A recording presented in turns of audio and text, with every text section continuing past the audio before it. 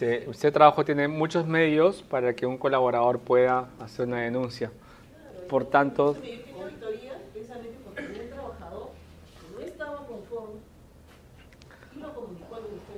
por eso es bueno tratar bien a los trabajadores o tener las cosas en regla. Sí, es importante.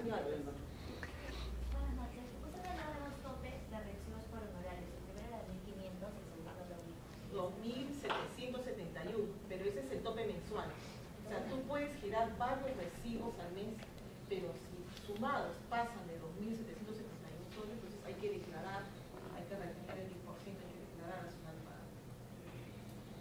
Retención Hay- hay- retracción.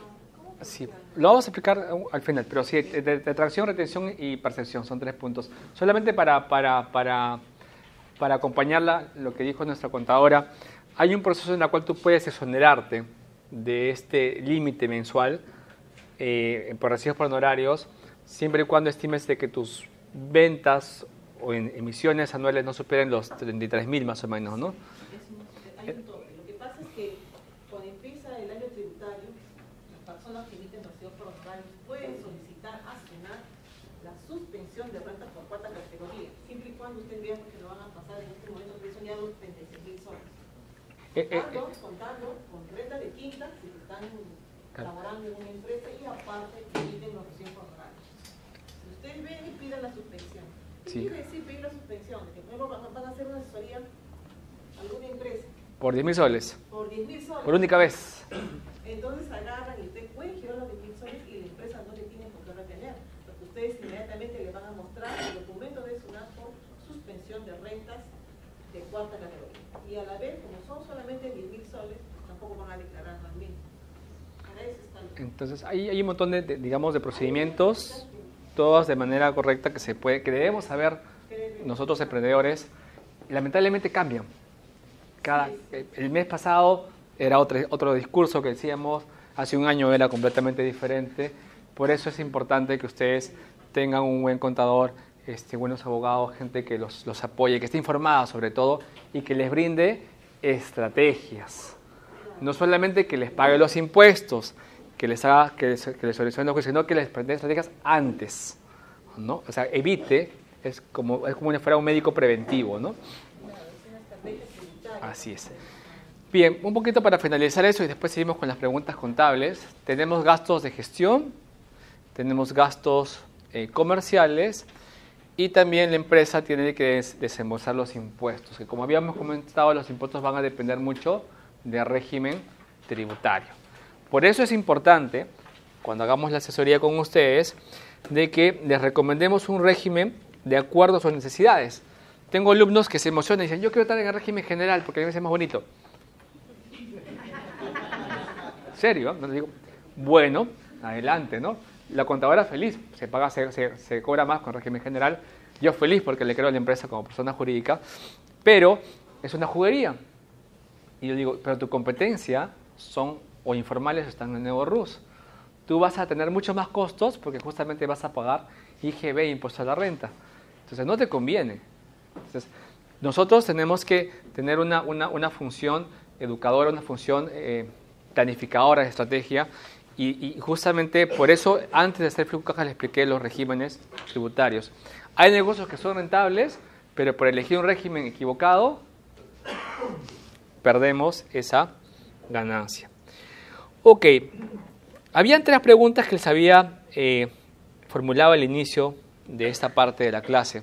¿Se acuerdan? Eh, una era eh, la inversión inicial.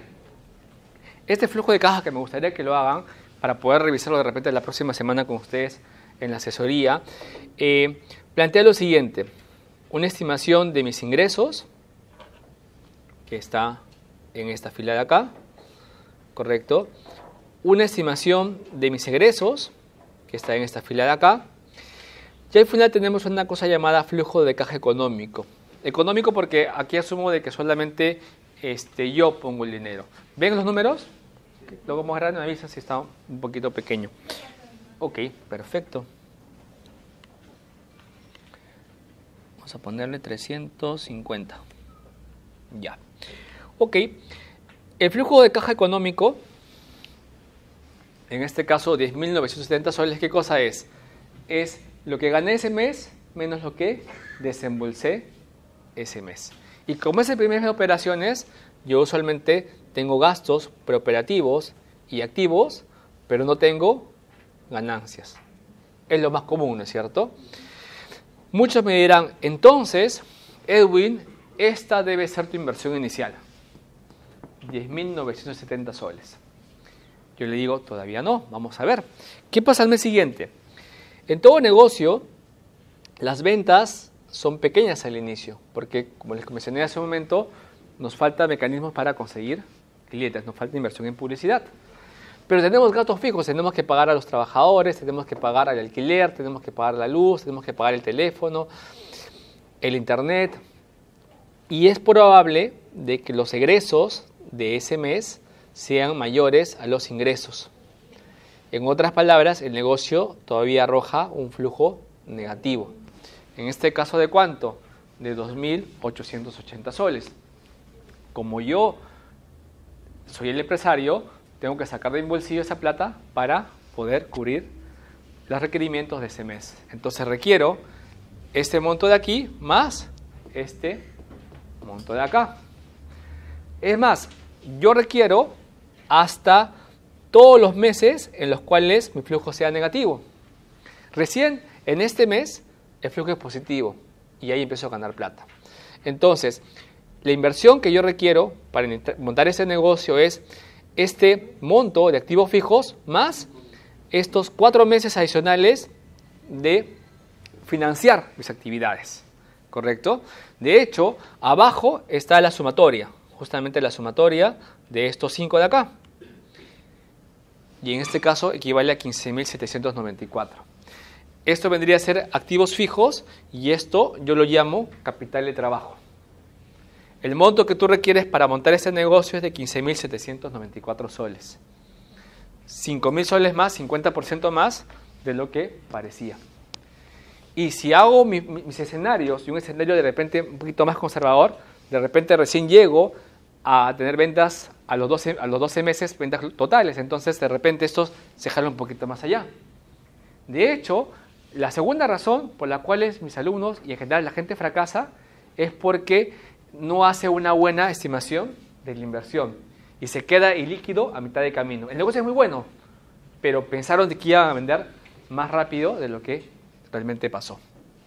Por eso es mejor en este caso, esperamos un ratito, o juntamos la plata y levantamos el negocio, o hacemos un negocio más, más pequeño, o de repente con costos fijos menores y más con costos variables. Hay muchas estrategias que, lo podemos analizar con mi equipo para hacer que esto sea rentable. Justamente de repente en vez de, producir y comprar máquinas por 10.000, mejor lo mando a hacer los polos. Por tal motivo, de esa manera reduzco esto de acá. Eh, puedo trabajar por horas con los trabajadores, algunos de ellos. Entonces, hay mecanismos en los cuales sí puedo hacer que el negocio sea rentable y requiere una inversión mucho menor. Son estrategias de inversión. Y Pito, en el caso donde dicen otros ingresos, ¿qué, qué eh, son ingresos extraordinarios, ingresos ocasionales. En, en, el ejercicio me refería cuando tú vas a vender las máquinas. Recuerda que hemos hecho una estimación a cinco años o tres años, entonces eh, en el último mes tenemos que hacer una venta asumiendo de que el negocio cierra, ¿no? Para, para hacer un en otros ingresos, exactamente. Entonces, tenemos primera, primera respuesta, primera pregunta este, con la respuesta. ¿Cuál es la segunda pregunta? ¿Se acuerdan ustedes? ¿En cuántos meses devuelvo la plata a mi familia? Porque posiblemente sea plata de la, de la casa, ¿no? Entonces, miren, ¿Qué pasa al mes siguiente? Ya gano plata. Estoy feliz. Tengo 346 soles. Está bien, estamos ganando. Yo estaría feliz, saltando de alegría. Pero he invertido 15.794. El flujo acumulado, como su número dice... ¿Hacen algo por ahí? ¿No? Algo de mañana. Ok. Bien. Entonces, ya me olvidé qué estaba haciendo. ¿Qué estaba haciendo? Ah, ok, ya. Ya gané, gané plata y me llamaron por teléfono para felicitarme. En este punto, en este punto veo la otra fila, que es el flujo de caja acumulado. Invertí 15.794 soles, pero como gané 346 soles, ya mi pérdida se redujo un poquito. Bueno, sigo avanzando, empiezo a ganar plata y abajo esta pérdida se va disminuyendo a un punto en el cual en el mes 15 mis flujos económicos han hecho eh, superar la inversión inicial. Entonces, después de 15 meses, mi negocio ha recuperado lo que ha invertido. ¿Correcto? Ahora, imaginemos que este flujo de caja lo he hecho a 3 años, o 4 años, a 5 años. En este caso lo hice a 5 años. Eso va a depender otra vez del tipo de activos que yo utilice. ¿Correcto? Tampoco hay que emocionarse porque muchos años, muchos años en realidad pues hago cualquier negocio rentable.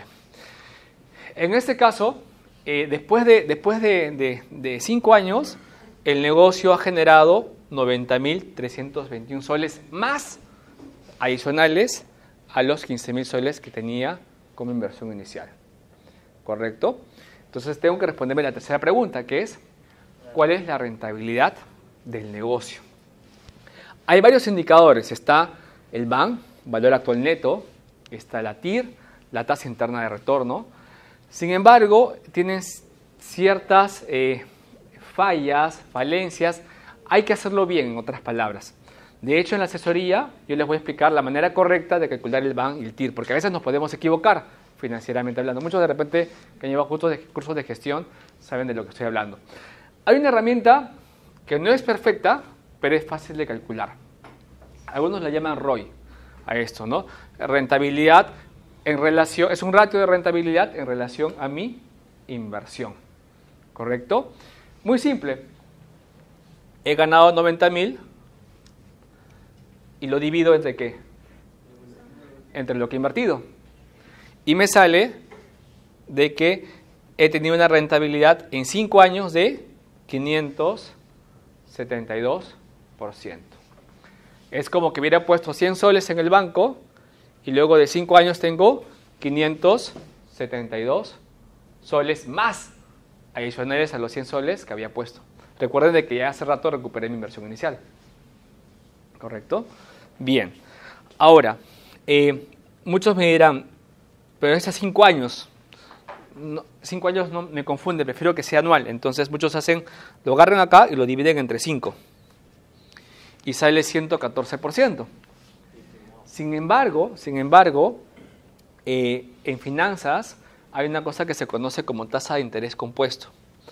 Cuando tú vas a un banco y, pones dinero, ganas intereses.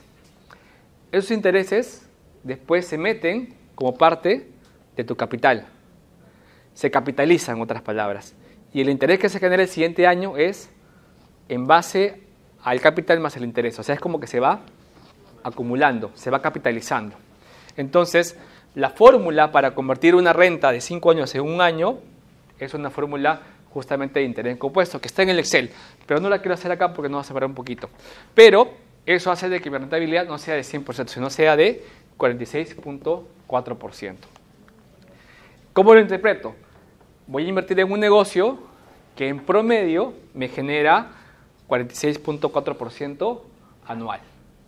Es como que ponga 100 soles en un banco y cada año me genera 46.4 soles y después lo reinvierto otra vez en, esa cuenta. ¿no? Y al final tengo 572 soles más de los 100 soles que había puesto en el negocio. ¿Esa rentabilidad es buena o es mala? Depende. Esa, es la elección de, de entrar o no entrar al negocio es muy subjetiva. Si, por ejemplo, este es un restaurante y me encanta la cocina, yo voy a hacer ese negocio ¿por? Porque me gusta, porque me hace ser feliz. Y entonces, más que importarme 50, 70, 80%, de repente, en ese caso, al menos me conviene que sea rentable. Un 10 o 15 o 20%. Si no es rentable, tampoco la debería hacer, porque a pesar de que me gusta, mi felicidad va a ser finita, porque en un momento voy, voy a quebrar con el negocio, ¿no? Entonces tiene que ser de todas maneras sostenible. Si lo veo desde el punto de vista del inversionista, entonces digo, ¿será rentable o será interesante invertir 46%? Y lo que tengo que hacer es preguntar a mis amigos emprendedores cuánto es lo que están ganando en sus otros negocios. Negocios nuevos usualmente tienen tasas de 30 a 100% anual. Entonces, si gano 20% o 15% y solamente busco la parte monetaria, de repente debería reformular el negocio o buscar otro negocio en que invertir. Pero en este caso, 46% podría ser aceptable. También va a depender de la complejidad, de la exigencia de ese negocio. ¿no? Eso es un tema de, costo-beneficio que tengo que evaluar. Y con eso respondemos las tres preguntas con esta herramienta muy simple llamada flujo de caja. ¿Correcto? ¿Preguntas hasta acá? ¿Consultas? Este flujo de caja, como les digo, lo pueden revisar todos ustedes en, la intranet y también lo podemos revisar en la asesoría.